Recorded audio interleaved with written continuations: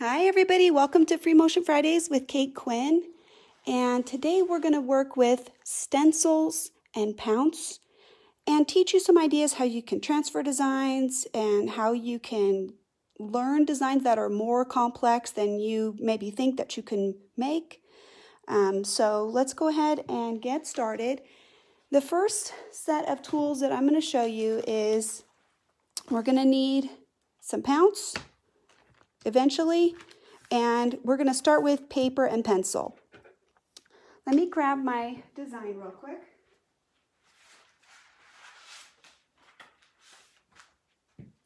I actually have several different designs, but one of the most complicated, we're going to just start with that. Hi, Barbara Robinson.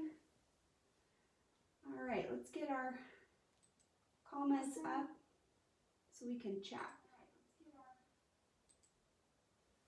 Okay, here we go. So the one we're going to start with might look a little bit intimidating. I'm not going to lie, it does kind of look look like that. This is the design. Isn't that cool? Hi, Nan. How are you? It's good to have you here. So these are quite common. This kind of like a plastic stencil. It's fairly flexible and it generally has some kind of design on it. A lot of times it may be a border or a fill. And I want to show you some information that can be really, really helpful. If you look on this little tag, you get information about the scale of the design. So this one is either 10 centimeters or 4 inches. And that's this dimension right here. This is the border piece right here, and this is the width. So this would fit really well in a four inch border. And then here, there is a corner section, and the design is actually a little bit different here in this area because it is turning the corner. So they're changing the direction for you.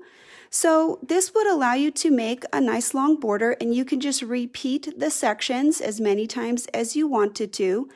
And if I was going to do this for a really long, long border and I wasn't sure how it would fit, I would section off a piece of paper and I would trace this and I would fold the border into sections and I would create a connection between the pieces. So let's go ahead and show you the very first thing I would want you to do if, if you're going to be practicing this.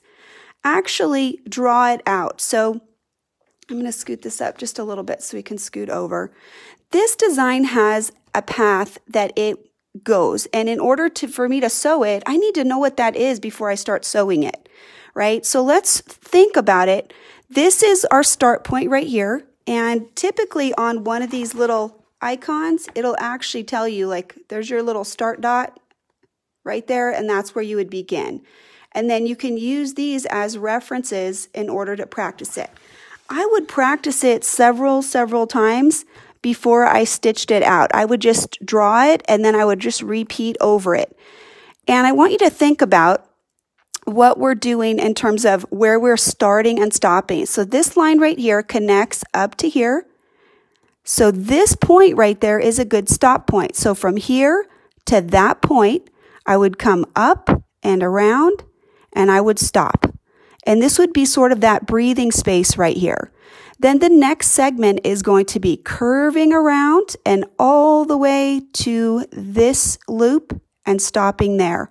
Because this movement can be done all at once, nice and smoothly without any starts and stops. So think about it this way. Here, curving, this is a, almost like a circle. So we wouldn't stop there. We would just keep going around and there is where we would stop, right at this little connector right there, because this is where you're changing directions. So then we'll do the next one all the way here until we're changing directions, which would be right there. Let's see if we can get you in a little bit closer so you could see better. I don't want my hand to be in the way. Can you see that there's blue chalk on there? So now we've come around here and we're stopped. And again, this is a position where there's a change. It's going that way towards the back. So I'll scoot it forward a little bit. Right from this section, this line connects into this loop right here. So we'll make the loop and we'll come back down. And this is actually going to come out to this section. Doesn't show on this, but I know that from this position, I'm going to make this loop all the way around and he would come back around to here. So I'll just fake this right here. I can draw it in later if I want to. Now, this next little section is the next piece, right? So I can think about where does this connect? For me, I want to go around the heart and then back to the top and travel through the center. So I'm trying to make this center sort of hit this little spot right there. Okay, here's the next unit right there. This will all be done as one because this is a little loop-de-loop and right down to the bottom where it changes directions. So that's the stop part for this section of the design. And then we're going to move up to the next section. This one cuts right through the middle and you do one side of the heart and you cross over. And then this guy is going to come all the way down, all the way around. This whole loop would all be done as one section right there, right? Swing down, loop, and stop right there. And this is the next change of direction right here. From this section right here, now we're going to make this inner loop, right? And then I'll bring us all the way down, all the way down to this point. And then we can do the next section, which is this piece right here. This seems like it maybe goes a little bit um, slow in terms of the teaching, but when you're sewing, you'll be able to do this basically with breaths. So I think of this as one breath. Here I just go, whoo, and then loop, and then the next loop, and then the next loop, and then you'll go right into the next section. So each one of those becomes sort of a little rhythm that gets you breathing. And then here's the little loop-de-loop right here. So I want you to think about this design as taking it apart into sections where you would have an obvious change of direction. That is a really important training tool because being able to stop and change directions is very important when you're free motioning. So this is a training tool that's getting us there. And if we practice this on paper a bunch of times before we sew it, then we don't really have to think as hard because we know where those changes are. So just for now, just pull this off and you can see that we've got our partial design right there. And you could go ahead and trace over that a bunch of times. That would help you close in the lines. If you needed references, you could put little arrows in there. This is a practice piece that you could also stitch through and make a template if you wanted to. But you know, you already have a stencil. There's not really a need to do that unless you would want to rescale it. If this is four inches wide, but we need it to be wider, we could take this onto our copier and we could make it wider by enlarging the design and then we could stitch through it and create the holes. And that way you're scaling that to match up with the quilt that you need to. If your actual stencil right here is not the right size, that would be a way you could create a new stencil that does fit the size that you want. Okay, let me show you one more technique. Okay, so what I did here is I've actually marked the stencil on there and this is, I haven't enlarged this, but this would be an example of how you could mark that enlarging and you could make this the full length of your border. And what this is, is freezer paper. So it's going to stay on there. And what I would do is the first time that I sewed it in order to make the new stencil, let's go ahead and pull the thread out, right? And now we can start with our design. And again, we want to practice, you know, which direction are we going? This one is going to have the heart coming through and then the loop-de-loop. And by doing it on this paper now, we're creating this. Um, so somebody asked, do I use stencils often to create my border design? I would not say often, but rulers can't necessarily give you the complexity of a design like this. So if I want a design that is more intricate and more complex like this, then stencils are a really good way to get that. And so I never try to take a tool out of my toolbox if I think it might have some value and some use. Okay, so let's go ahead and here what we would be doing is we're actually going to just make the stencil by stitching. And the thing that is nice about this is if we make a mistake, we can sort of correct it. So we can also decide if there's a path that we want that's better for us. Plus, it's good training. It's good training for moving the fabric and actually stitching through the design. So here we're going to come up right through the center of the heart and do the loop-de-loop. And this will also show you that sort of breathing pattern that we talked about. So here, put my loop in, Here's my next loop all at once, and there is the stop for the change of direction. Then as I look at the next piece, I can think about where am I going? I'm going to come up and stop. And then this part all the way down to the bottom and through the loop is the next one. So let's do this one. We'll come right up here, just sort of follow that. And remember, you're in charge, okay? You can change this design at any time if you want to. You don't have to make everything so perfect. So there's your loop right there. Go around. I'm moving the fabric. I'm getting the sensation of the design. And this one, I'll come all the way back to the connecting line right here so that I can move into this next portion. I'll do this part and then coming back around. So I'm going to do my little loop and over the top. So thinking about the pathway is going to be very important for us to get the look that we want so we can practice it for later. So come around the top and then stop. Now this little heart is the one where we want to go over the top and down to the bottom and through. So make sure that we're following the pathway that we've decided on. Going around,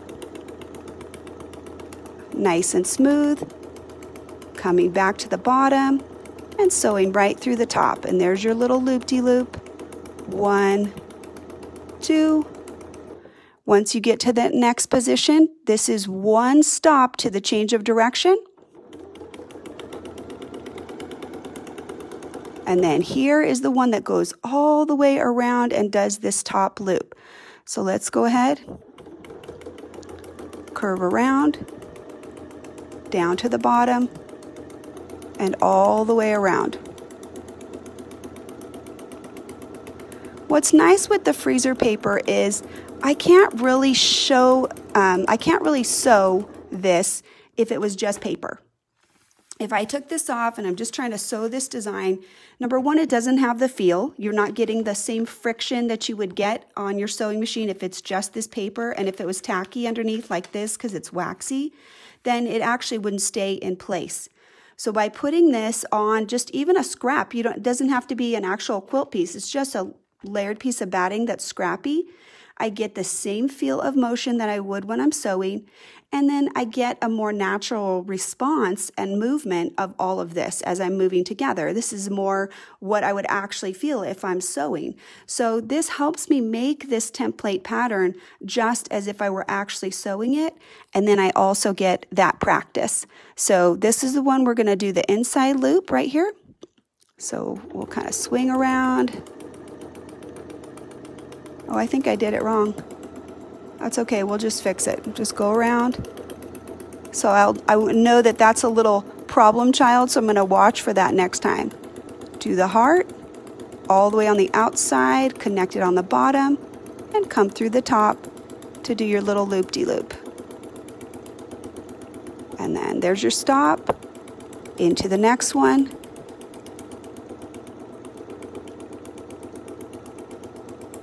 all the way around this one, all the way around the loop. So I'm not using a stitch regulator, but you can hear that the rhythm of my machine is very, very even, right? So that is me controlling my stitch length.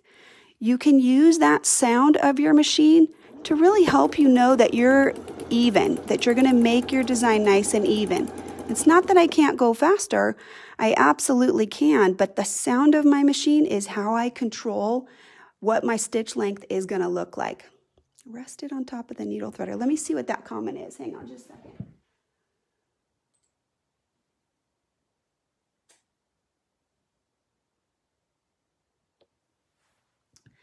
So right now I have unthreaded my machine. There, there is a question. Dee said, um, can you bring the thread through the tension disc and then not thread the needle?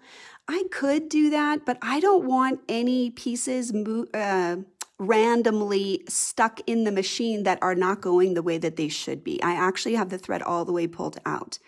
You're not really saving anything in terms of time. I don't think that saves you anything in terms of it's going to take you 10 seconds to thread it, you know, later. I mean, if you've threaded the machine a thousand times, you might have done it a million.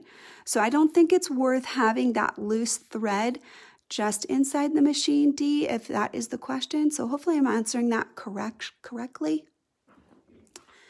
Um, let's see. Maybe I didn't answer that correctly. I'm not sure. um, so I guess the question is, how can I sew without thread? I see.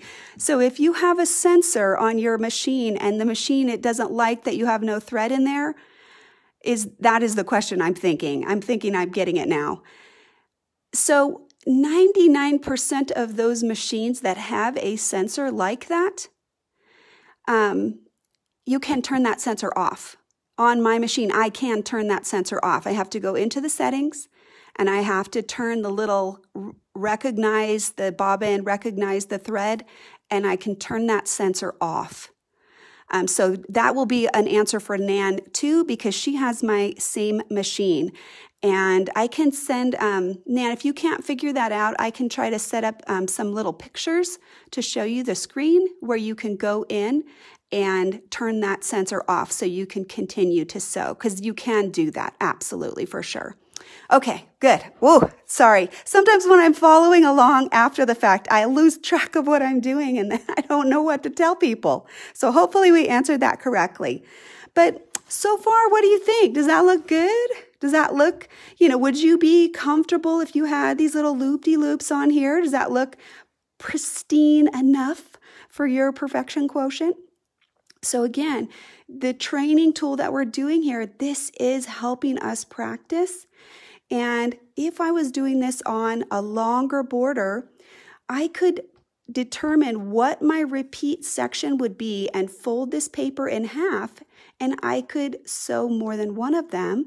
And then if I needed to connect it, because maybe it didn't fit perfectly, I could elongate a few. Like if I needed this to be a quarter inch bigger, I could just make a little dot um, that I need this line to come down a little further and then I could make my little loop. So you could fudge that by adding just a little bit of length for each one of these. I mean, by the time you add maybe one eighth or a little bit bigger than one eighth to each one of these pattern references, you could elongate this very much imperceptibly and then you could fill it in your border if you needed it to be um, just a little bit bigger, or you can cut off little pieces of it and being able to make that adjustment on the templated paper is something then that allows you to literally iron this on to your border and make the adjustment right before you sew it. You could actually make the adjustment in terms of pencil, and then you could stitch the whole thing out as a template and then put it on your quilt and it would match perfectly. So understand that there's lots of different ways that we can use the stencil. We don't just have to put it on there, and swipe it and that's it, we're stuck with it. We can make as many adjustments to it as we want. For example, if I didn't like this little loop-de-loop because it was like, I don't know, whatever, it just bothered me. I can just say, okay, I'm just gonna swirl over to this side and cut that whole little thing off because I don't like it. So know that you have a lot of flexibility, but the key thing that I wanna share in this class today is definitely practice your path and think about sort of the reference breathing that you want to have so that, for example, if I'm going around and I'm making this design, I don't want to stop right there. Okay, if I stop in the middle of this longer arc, that's when you start to get kind of what I call like the wonky thing. You want to find that natural place where you're going to change directions so that you can keep the arcing smooth and make it look how you want it instead of having some kind of weird thing happening right where you don't want it. So I think that with this design, it's kind of complicated. I'm not sure that I would have ever felt comfortable just sewing this by myself, But now that I've practiced it a bunch of times on here, and I feel like I can, you know, know the path, I know where I'm going, going to do my little loop. Well, I feel a lot more confident that I could actually sew this out and make it look reasonably good on the quilt and I wouldn't feel bad about, you know, how it would look. I would feel comfortable that I could make this into something that would look pretty. Now, let me show you something really quickly right here. See if we can get in there a little bit more so you can see. This is not the natural path that we had on the rest of our design. And why is that? This is the corner. So because this is now changing our path, we need to think about what, um, how do we get around this? How do we navigate this path? and get sort of back onto our path. So actually right here in this corner, I'm not sure. This part connects to right here. So it means that we need to do this part first. So I would want to come from here and do this part of the loop, which would bring me back. Okay, so let's do that part first. And this kind of mimics that little heart echo that we did before. And we'll come around and we'll go that way. I better look. I'm going to turn it a little bit so I can see how it connects up. So it's going to connect right back along the existing design, right to that center, and then we want to come this way.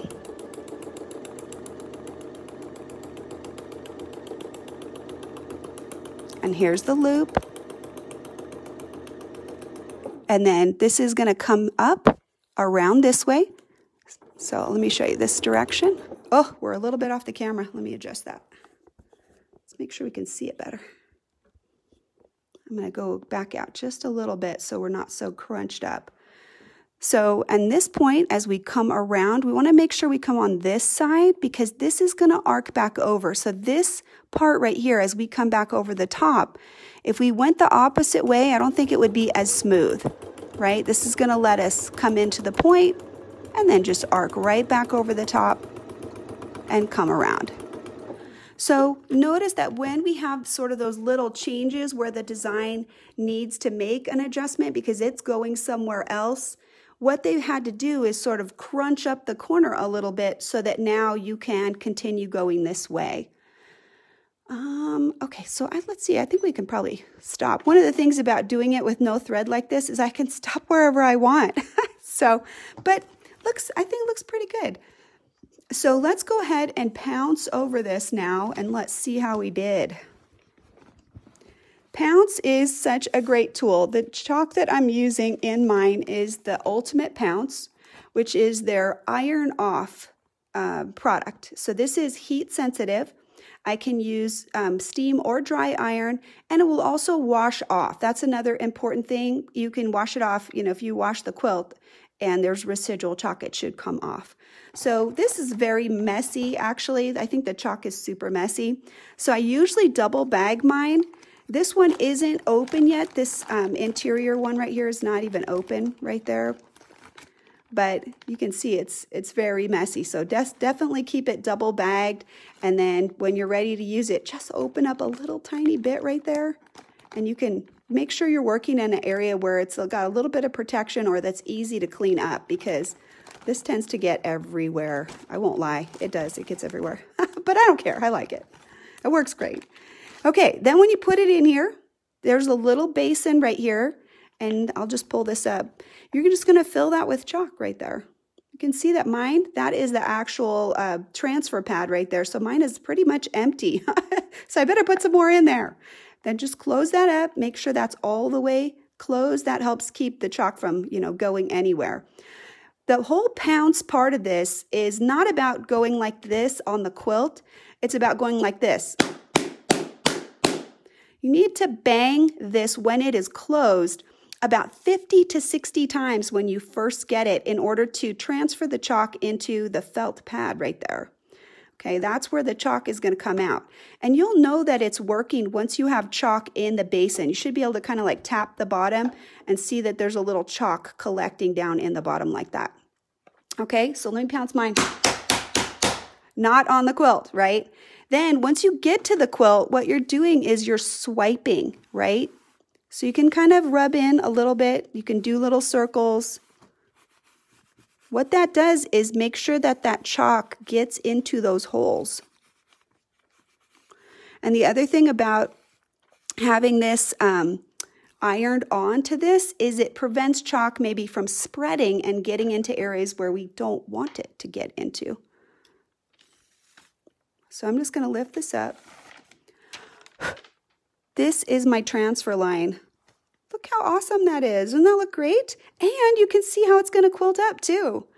So this is just one tool that's in your quilting arsenal and I wouldn't be without it. I actually use it for so many different things, but it's really, really valuable. And I'm going to just show you one other thing. I have lots of stencils. I actually have quite a few. This one is a border right here. But let's say I, I don't think this border is going to fit mine, right, the way I want it. I don't need the whole border. I can just take one little piece. I can just take this, transfer this onto a piece of paper, scale it to the size that I want to scale it, and then I don't need to worry about all of the rest of this. I can just have this piece right here, and that's it, right? So let's go ahead and um, put this over here. We'll just use a different section, and we'll actually sew this one out. We sewed the other one, kind of, right? We did it kind of. So I can just put this on a piece of paper and make sure it's the size that I want. If it's already the size that I want, I can use some reference lines on the quilt and I can just mark these lines and I can center the design. This one even has like a perfect center line right there. And I could use that to put the design right where I wanted to. And I don't need to necessarily worry about all of these other parts. So for this design, the way that I think would be practical to sew it is to come from the bottom and maybe do this first one and back to the top. Uh, let's see, I don't know, maybe I'll go this way. I like to go from top to bottom, so I'll actually backtrack up to the top. Let's do that. Okay, we got to get threaded, right? Can't do anything without threading. All right, got to show you some sewing, right? Can't be a free motion class if we don't sew. We kind of sewed, but we sewed with no thread. All right, so let me get threaded up. So I want to show you my foot is down right now because my machine requires me to put my machine in threading mode. I'm going to press a button and this is now out of threading mode. And if I press this button, it makes the foot go down. This machine has its own path. You need to follow the directions for your own machine. Most standard machines, what you want is the foot to be in the up position when you're threading. So that's very, very important to make sure that you're doing it properly. And then I'm just gonna put my thread through the hole. Okay, you saw that I did my little needle down and up, and I can just pull this, and that will bring my thread through the foot. Once I have this like this, I'm going to put my foot down and I want you to try to pull on your thread.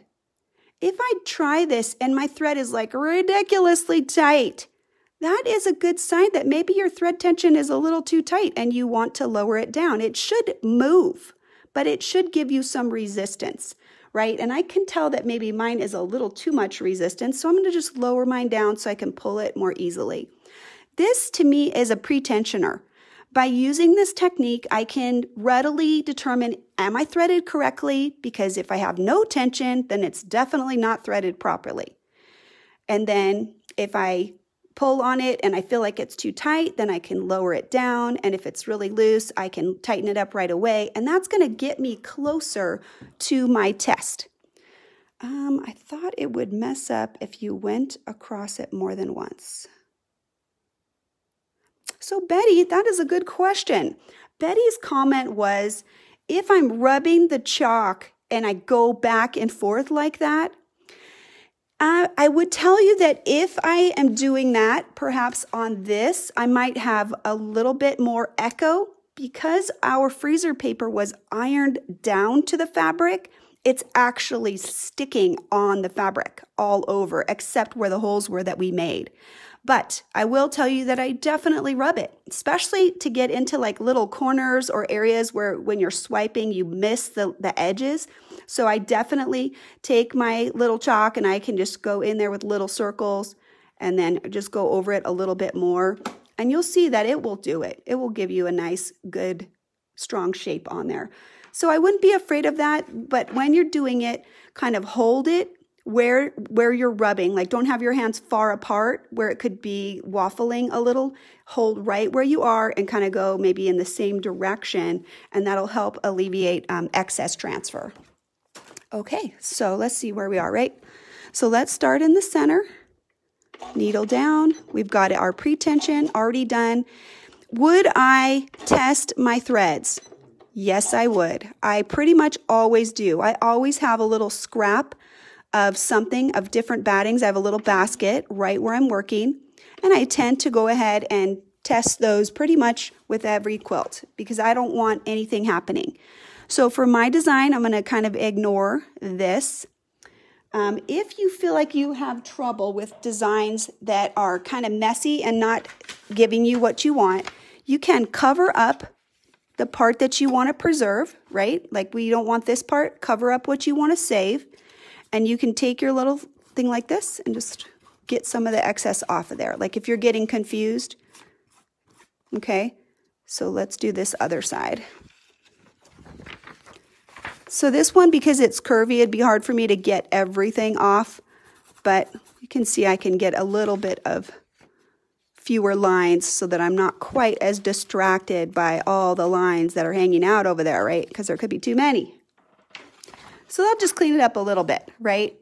And I do that a lot of times with my grids when the grids are, I want like just this box, but the grid goes everywhere. That way I can make sure I can not have so much lines because then you, you kind of sew outside your grid, right? Which I hate. Okay, so let's go ahead. So we're gonna follow the line and curve around. And then I'll just follow this. This is tracking back over my existing line, okay? And just coming into the center and not further, and then back up to the top. And then here we'll do the little heart. And because I think it'll look better, I'm gonna go reverse. I'm gonna go like this. Okay, and then I'm gonna come back down. So I'm right at the center of the heart. I don't like to go that way. I think that for me, I find that my heart does not look as pretty when I go from this direction down to the bottom. So what I'm going to do here is I'm actually going to close this design down through the center like this. Close those two sections. And then just like we did before, we'll go this way, over the top, and back down, and then right over the top. Just like we did before. Connect with the existing line and then right there, right into that. And if you want to put an extra line in there, you can. Okay, and now we're done. So this would be where you would connect if you were going one side to the other, but we decided that we're not doing that. We're just doing the one. So we'll just tack it and cut it. Now, I think it looks always very messy when there's chalk. I think that um, it's very, very tempting to try to get those lines off right away, right? But just wait until you're all done. If you need a peek to see how you're doing, you could just flip it over and look at it that way. And then you're like, oh, okay, good. Looks fine. A little bit wonky, huh? Turn it, turn it straight. So I got to make sure that um, when I come back, I connect that a little curvier. But still, Put about 10 more of those on and nobody will notice that, right? okay. All right. Well, that is 1030. Um, so hopefully you felt like there were a few things that you learned today. So we did freezer paper templating, which was the little template that we made.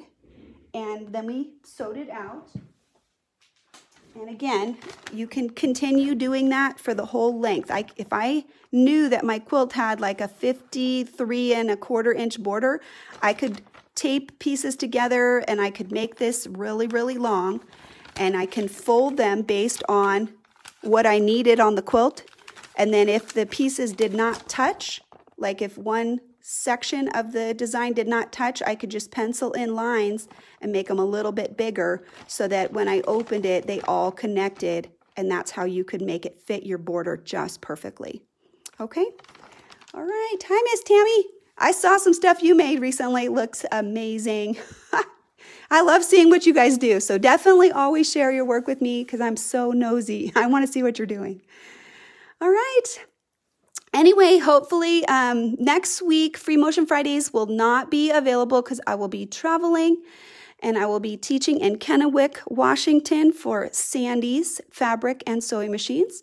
So if you um, are interested in that, they have a lot of great stuff available coming up. So many different uh, brands and products that are going to be shown.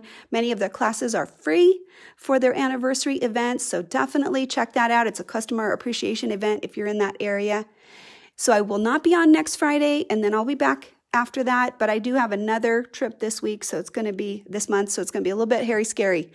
I'll always post a note if I'm going to not be available, and I'll leave it pinned at the top so you can just check on FabriKated quilts to see if there will be a free motion Fridays or not.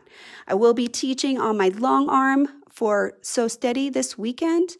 And then next weekend, I might have a taped segment. I will not be live, I think. I think I will not be live. I might be. I don't know. I might be back because I'm coming back on Saturday, so it's possible. All right, just keep checking. I will definitely post everything on my uh, calendar. I'm putting my calendared items on my FabriKated quilts calendar as well. It'll literally show the dates that I'm teaching. And so I'll try to keep that updated for everybody so it makes it easy for you to find all that information in one place. All right, have a great week, and maybe I'll see you on Sunday. Happy quilting, you guys.